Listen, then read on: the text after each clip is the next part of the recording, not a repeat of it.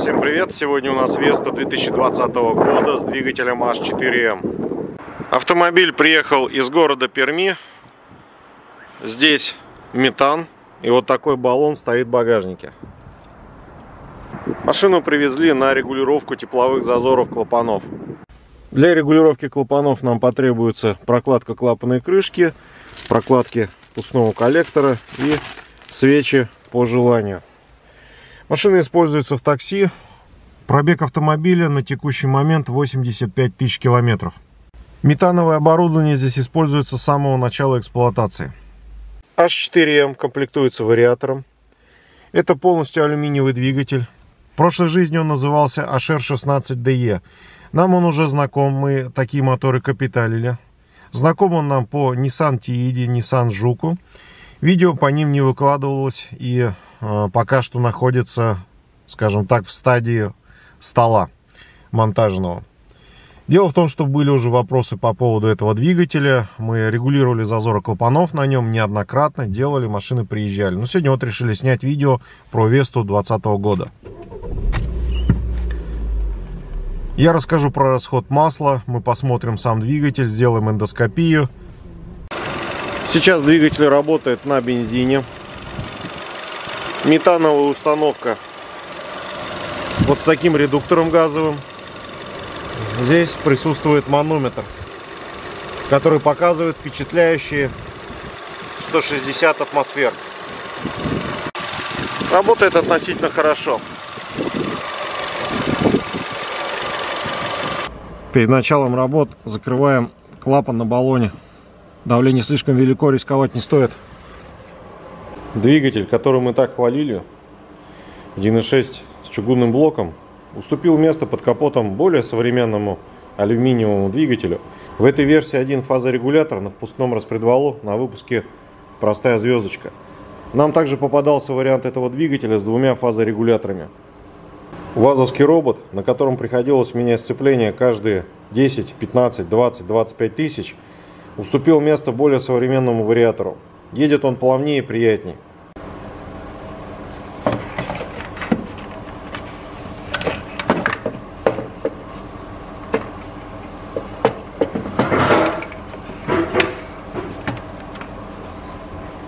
Иногда говорят, что недостаток этого мотора трудный демонтаж свечей. Ну, снятие ресивера здесь занимает очень небольшое количество времени.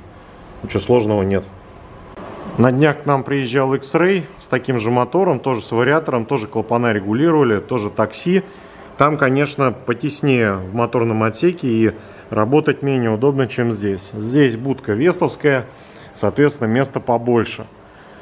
Вот он вариатор, есть теплообменник, мотор сухой, течи нет. Но вот X-Ray, который мы делали, у него тек передний сальник. Точнее говоря, довольно сильно потел. Когда мы сняли плиту, и посмотрели на сальник, он стоял немножко криво. В общем, как в анекдоте, место проклято. Но здесь все хорошо, и сальник сухой. Неоспоримым достоинством лично для себя я считаю выпускной паук 4.1 трубы, потом идет фланец с графитовым кольцом, а катализатор располагается вот здесь, то есть за рулевой рейкой. Он отнесен от двигателя и это одно из самых удачных расположений. То есть до мотора ему лететь далеко. Здесь вот две банки. Вот первый элемент и второй элемент. Так что за катализатор здесь можно не переживать. Никуда его не всосет, не втянет. А даже если он и разрушится, то до мотора ему лететь очень далеко. Так что за катализатор можно не переживать и не надо бежать его удалять.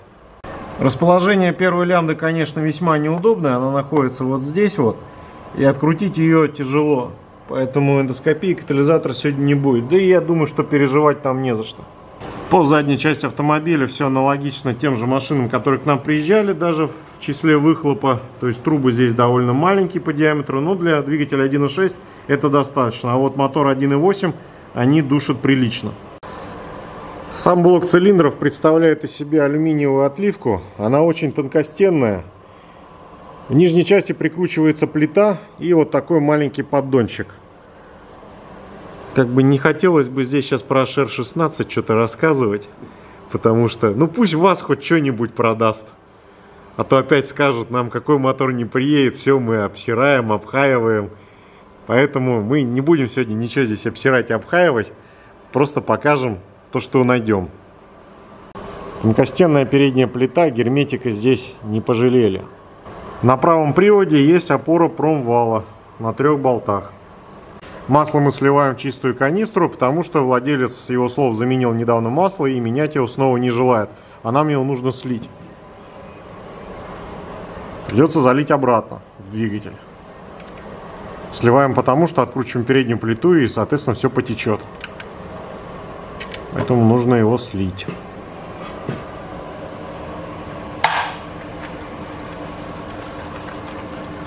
Стружки не видно, масло темное. Но нет, оно не темное, оно вот такое янтарное. То есть на газу обычное дело. Заливает он Shell 5V40, пытался использовать 5V30. Расход масла. Очень интересная тема для этого алюминиевого мотора. Вот конкретно на данном экземпляре расход масла за 7,5 тысяч, это интервал замены масла здесь, составляет примерно 2 трети щупа за весь интервал. Что в принципе для него является нормой. Крышка демонтирована, под ней все чисто, идеально чисто. Газ так не загрязняет двигатель, как бензин. Точнее говоря, не загрязняет масло, а масло не загрязняет двигатель. Вот более правильная цепочка. Распредвалы чугунные. Это, конечно, плюс. Выработка на зубчиках очень невелика. Свечи в хорошем состоянии.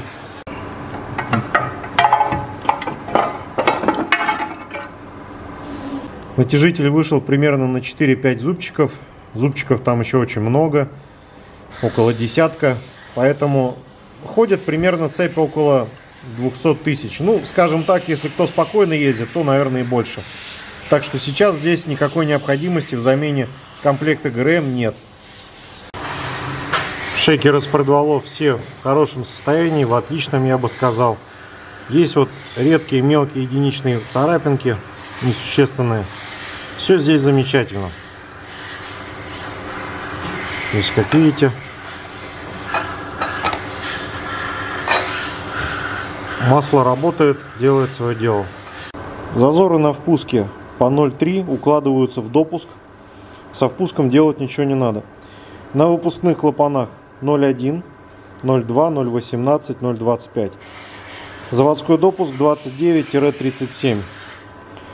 То есть здесь клапана уже зажаты, их нужно регулировать. Гидрокомпенсаторов здесь не предусмотрено, и регулировка осуществляется стаканчиком. Вот так он выглядит. Стаканчик номерной. Регулируется тепловой зазор подбором толщины стаканчика. Стаканчики нужно покупать. Для регулировки зазора клапанов нужны толкатели. Каждый толкатель стоит достаточно приличную сумму. Их здесь в данном случае нужно 8 штук. То есть можно использовать запасы какие-то. Вот у нас тоже есть на разные модели некоторое количество толкателей. Не всегда все можно подобрать. И второй вариант подбора, точнее говоря, регулировки, это шлифовка пятачка. Вот здесь вот находится внутри пятачок, который можно подшлифовать на необходимую толщину и тем самым отрегулировать зазор. Есть противники этого варианта ремонта регулировки. Значит, они обосновывают это тем, что идеально точно подточить не получится. И, соответственно, какие-то будут перекосы, которые будут влиять на то, что будет толкатель этот не крутиться или крутиться излишне быстро, или он будет работать с перекосом, будет разбивать направляющую втулку. На самом деле такие мнения существуют, они известны. Но я как практик вот этого ремонта и таких регулировок могу сказать следующее. Мы наблюдаем и делаем регулировки на многих автомобилях. Таксисты приезжают по несколько раз. То есть на протяжении 200, 250, 1300 мы наблюдаем динамику изменения, то есть подтачиваем толкатели. Вот этого пятачка хватает на несколько сотен тысяч километров. То есть практически на весь срок службы двигателя и автомобиля в течение вот этих вот нескольких регулировок на одной и той же машине я наблюдаю, каким образом прирабатывается пятачок, э, изнашивается или нет гнездо толкателя. Негативных изменений я не отмечаю. Так что данный вариант вполне себя зарекомендовал, он нами опробован на протяжении многих лет. И делается такая регулировка всего лишь в течение одного дня. Тем, у кого нет газового оборудования, пропанового или метанового на автомобиле с этим мотором, беспокоиться о регулировке не о чем. И регулировка будет делаться только при капитальном ремонте двигателя. Несомненно, вас интересует экономическая сторона эксплуатации автомобиля с метаном. Так вот, скажу следующее. Машины с пропаном сейчас уже не актуальны ввиду слишком высоких цен на пропан. А, в некоторых регионах цена уже дошла до 42 рублей за литр. При том, что расход на пропан-бутановой смеси больше, чем на бензине, то экономической составляющей просто нет. Я спросил у владельца, а, что с расходом метана и как с динамикой. После установки метанового оборудования, говорит, динамика была очень плохой. Поставили вариатор опережения угла зажигания, газовщики ему где-то в Перми. То есть не спрашивайте, где, я не знаю. И после этого динамика, говорит, стала приемлемой. По поводу расхода, он заправляет 20 кубометров метана – на 400 рублей и проезжает 200 километров. Эксплуатация машины, практически весь вот этот пробег осуществлялась только в городе. То есть это такси внутри города. На трассу, говорит, приехал первый раз, наверное, за весь срок службы машины. Вот до нас он доехал. Расход на трассе, говорит, порадовал. Расход невысокий. Так что получается дешевле, чем на пропане езда. А по поводу стоимости регулировки клапанов и экономической целесообразности могу лишь сказать, что раз 80, 70 или 90 тысяч пробега вполне можно себе позволить отрегулировать клапана. Вот просто для образца толкатель с подточенным пятачком. Разница в толщине пятачка и основания составляет миллиметр тридцать.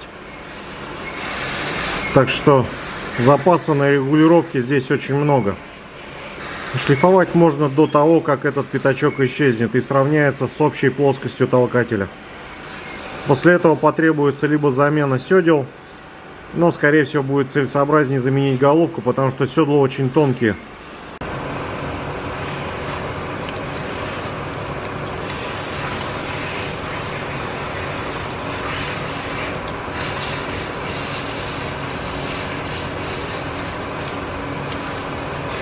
Двигатель HR16DE и двигатель H4M имеют некоторые отличия. В частности, на HR16DE форсунок охлаждения поршней нет, но есть сверление в шатунах.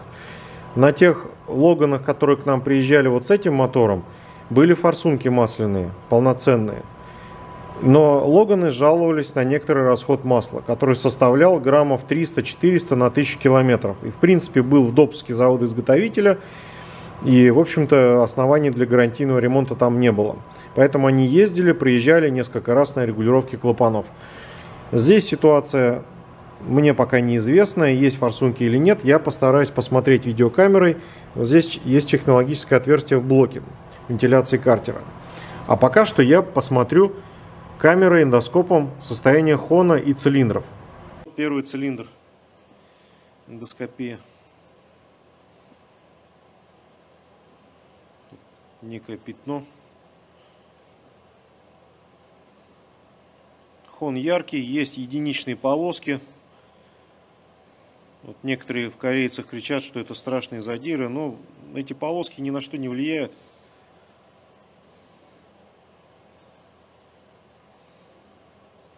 И так с хоном все хорошо.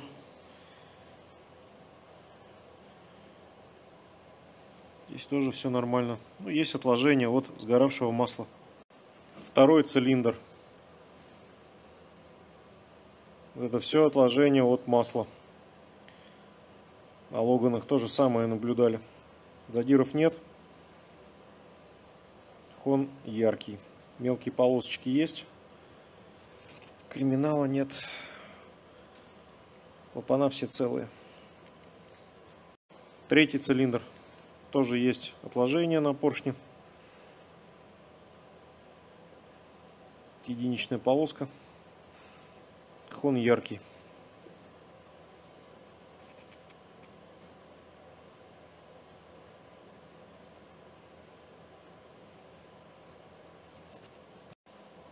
Четвертый цилиндр. Поршень в отложениях. Хон яркий.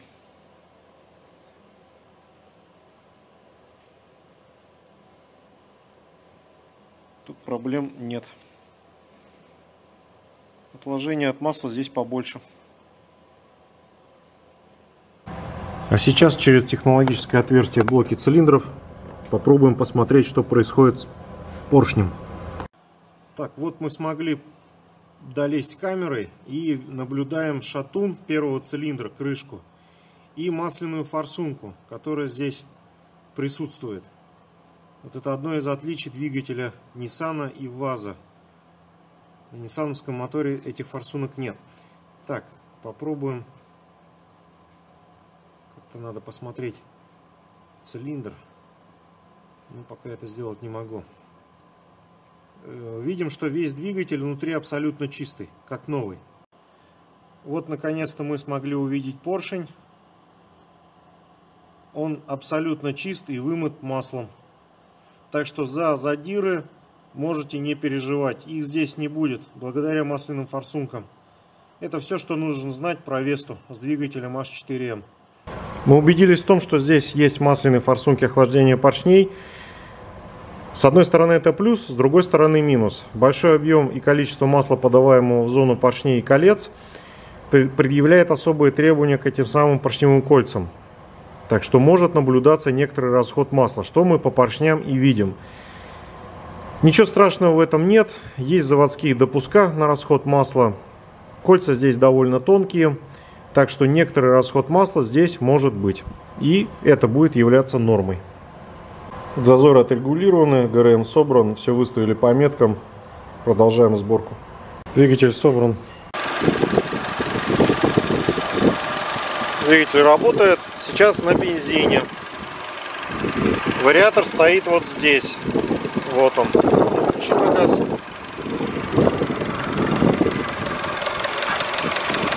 А, это форсунки так работают, как будто поршняные ФЦшки стучат. Четыре форсунки. Ну, задиры в кул, ну, владельцы корейцев об этом только мечтают. Выключи-ка еще, смотрите, сейчас стучать перестанет. И выключи.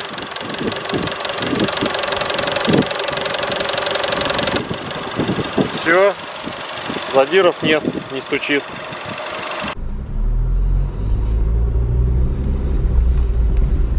Безусловно, если сравнивать с теми вестами, которые приезжали на роботе, это едет намного приятнее. Плавнее, ровнее, без рывков каких-то, дерганий непонятных. Все-таки вариатор, если сравнивать с роботом, который был на Весте, это тема. Другой вопрос, сколько он прослужит, насколько хватит ремня но это другой вопрос. А на первом плане все-таки комфорт и удобство вождения. Машина на метане, если сравнить с бензиновым вариантом. Я сейчас сделал кружок на метане. Переключусь на бензин. На метане, конечно, едет немножко более вальяжно. Но едет.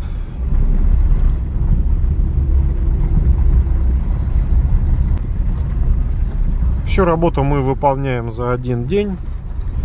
Сейчас у нас вечер. Скоро клиент приедет и заберет свой автомобиль и поедет домой. На этом все. Спасибо за просмотр. До свидания.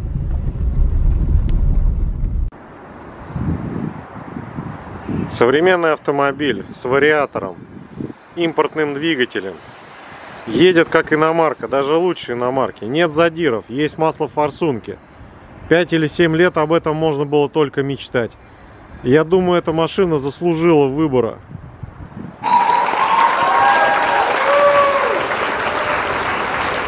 Выбор Каплана.